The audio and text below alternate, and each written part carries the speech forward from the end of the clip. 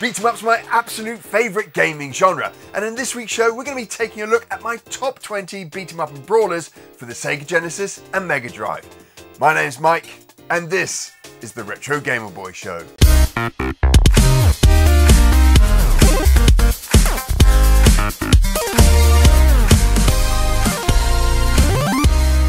So we've got a lot of games to get through, but before we do that, pause this video, jump down to the comments box and let me know what you think my top three games in this top 20 list are going to be. Right, let's check out my top 20 beat 'em up brawlers on the Sega Genesis and Mega Drive. DJ Boy was developed by Kaneko and published by Sega and Sammy. The game was originally an arcade game that was later ported to the Mega Drive and Genesis. The game sees you take control of DJ Boy, a roller skating vigilante who, in the Japanese version of the game, is trying to rescue his girlfriend, but in the Western version, he's trying to get his radio back. The game has some solid and fast paced beat 'em up action. The skating mechanic allows you to move around the combat area fast, with the screen auto scrolling the levels. The game has basic combos with punches, kicks, and jumping. It's a fun game and one of the better arcade ports. Our next game is from Data East, a favourite developer and publisher of mine, and they've brought Captain America and the Avengers to the Genesis in 1992. The game sees four classic Marvel heroes take on Red Skull, who has assembled some of the greatest supervillains to take down the Avengers. Players can choose to play as Captain America, Iron Man, Hawkeye, and Vision. The game has some great variation in the combat, with all four characters having special long range moves and some cool aerial attacks. Players can also punch, throw enemies and objects, as well as dash. Captain America and the Avengers is a solid beat 'em up with some nice visuals for a first generation Mega Drive game. Alien Storm is another classic arcade port from Sega and came to the 16-bit console in 1991. The game mixes in some first-person shooter elements into the brawler action and has a few levels that sees you running at high speeds as you dispatch your enemies. Thematically, the game has a lot of personality and was one of the more visually impressive Genesis games of its time. The combat is fun if not a little clunky at times as the game tries to merge shooting and CQC together. The game is two player and is a decent addition for beat 'em up fans. Double Dragon has a huge amount of nostalgia for me as it is the first beat 'em up I completed at the arcades. This is another arcade port and a pretty faithful one at that with the Genesis release coming 5 years after the original arcade. Double Dragon helped usher in the modern beat 'em up genre and brawler gameplay with scrolling environments, two player gameplay and the ability to pick up and use weapons. Characters could also combine moves like grappling and kneeing their enemies in the face, and you could combine button presses to perform new moves. Two Crude Dudes, or Crude Buster as it's known in Asian territories, is another classic Data East beat 'em up.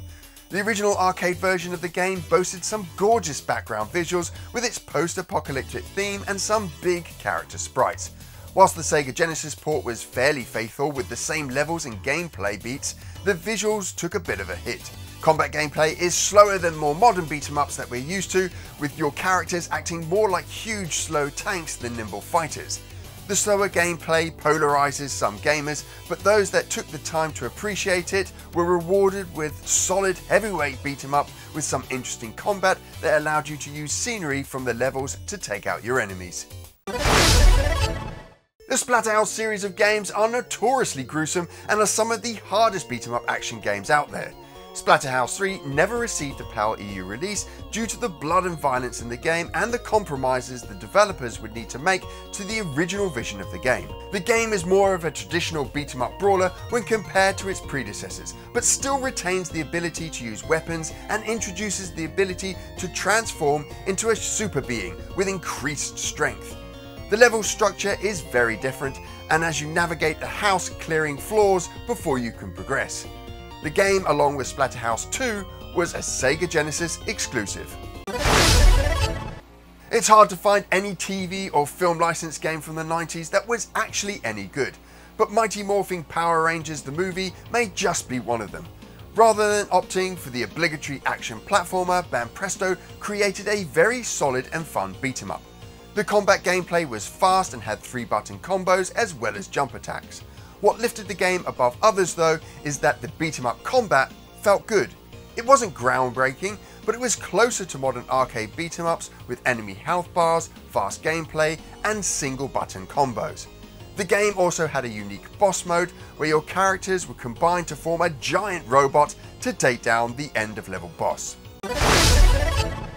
Battletoads is a port from the Nintendo Entertainment System, which is really odd as the Master System Battletoads Battle Maniacs is a port of the Super Nintendo version.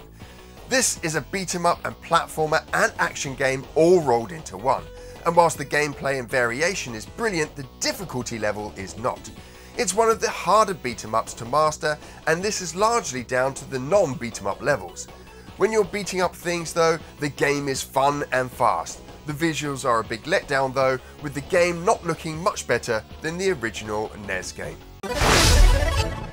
Play both as Spider-Man and Venom as you try to take down enemies like Doppelganger, Demogoblin, Shriek and Carnage in maximum carnage. Both Spider-Man and Venom can not only punch and kick their way through the levels, but they can also use their webs to restrain, drag and attack enemies. You can also web sling and climb up walls to navigate the levels. Combat feels responsive, and the inclusion of web attacks mixes up the beat 'em up elements of the game.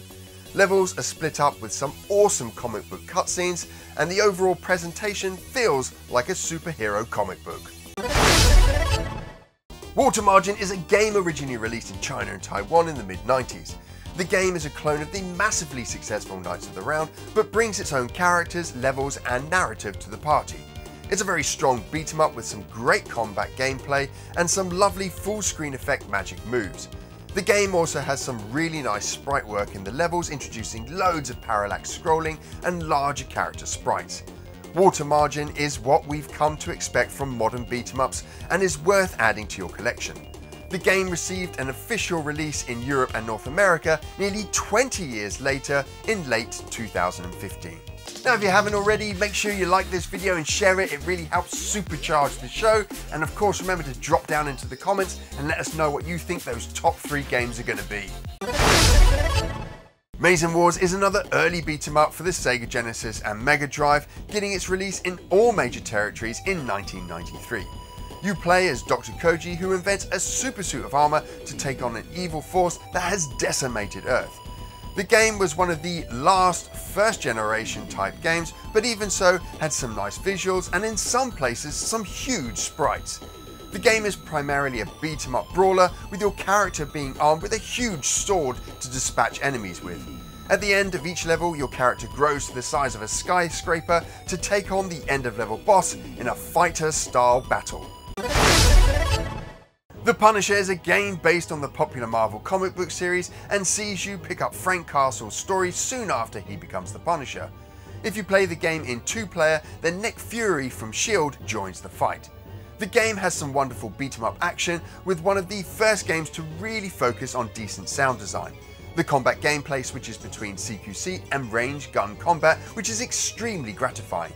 The game's art style feels very much like a comic book, and the levels are varied and well drawn. Golden Axe is one of the most iconic games of the 16-bit era and one of the most loved franchises within Sega's 16-bit catalogue. Heavily inspired by the Conan Barbarian films and sword and sorcery novels, Golden Axe follows a fellowship of warriors on a quest to end the brutal rule of Death Adder. The sword combat in the game is simply stunning with three breast combos, aerial attacks, dash attacks and standard attacks. The game introduces mounts and collectible magic attacks, it was a phenomenal game set in a stunning world with giants, trolls and skeletons, and it had an amazing soundtrack and audio design that caps off one of the all-time best beat 'em ups. Golden Axe 2 is the sequel to our previous beat 'em up and has improved on the original in every way.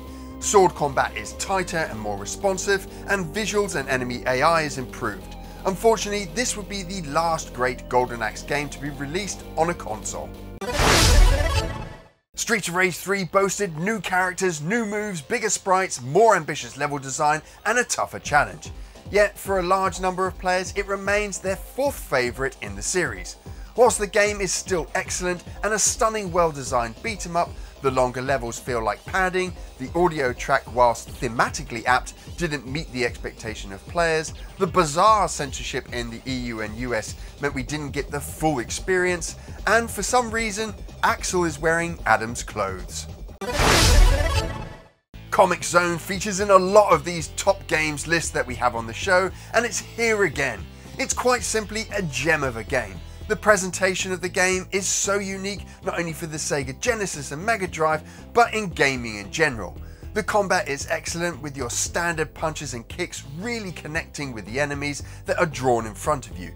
The visuals are some of the best found on 16-bit consoles and the audio design is absolutely thumping. This is not just one of the best beat 'em ups on the console, but one of the best games for the Sega Genesis and Mega Drive. I'm often torn between Streets of Rage 1 and 2 as to which is the best. Streets of Rage 1 is such a leap forward for beat 'em ups on the system.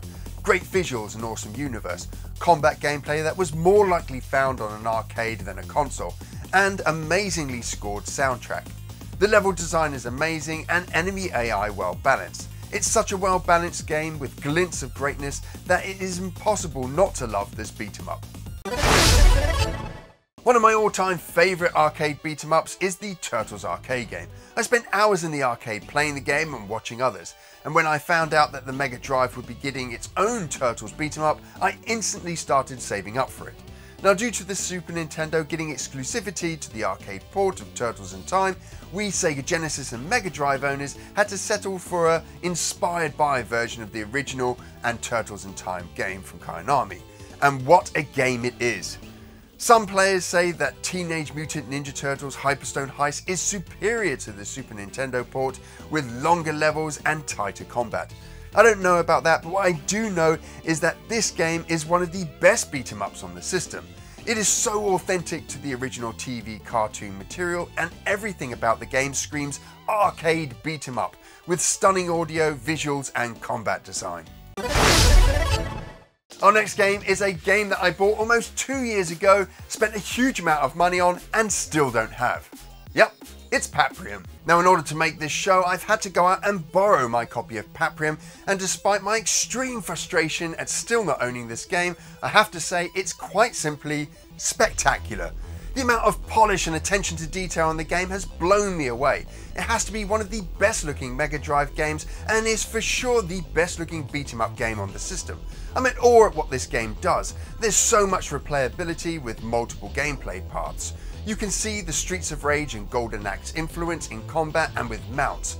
There are meta gameplay systems in there, like getting addicted to the drug you can use. The sound is great, and my CRT TV loves the graphics. There are a few issues with enemy AI, it can be a bit stupid at times, but that didn't stop me from loving this game. I need my copy even more now. So what's my best beat 'em up and brawler on the Sega Genesis and Mega Drive? Well, if you've not guessed already, it's Streets of Rage 2. Streets of Rage 2 for me still remains the definitive beat 'em up on the platform. Paprium came close to dethroning it, but the fact that the game was so heavily influenced by the brilliance of Streets of Rage 2 speaks volumes. Streets of Rage 2 is one of the most impressive sequels I've ever seen, not since Street Fighter 2 has a game improved so much over the original. The balance and purity of the combat gameplay makes the thousands of playthroughs I've done on the game a joy to experience every time. The artwork really captures that 90s feel and has helped the game feel as fresh and as exciting as when it was first released. And of course, the soundtrack is not just great, it's iconic, it's pop culture, it's firmly ingrained in gaming history. There have been some stunning beat 'em ups in this list, but Streets of Rage 2 is legendary.